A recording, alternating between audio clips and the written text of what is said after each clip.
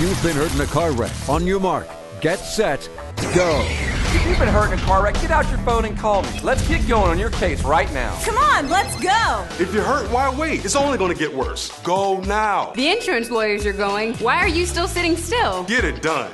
Gordon got it done. He settled my case for $247,000. Just call me. Get it done. Get Gordon. Get it done. Call 926 1234 or go to getgordon.com.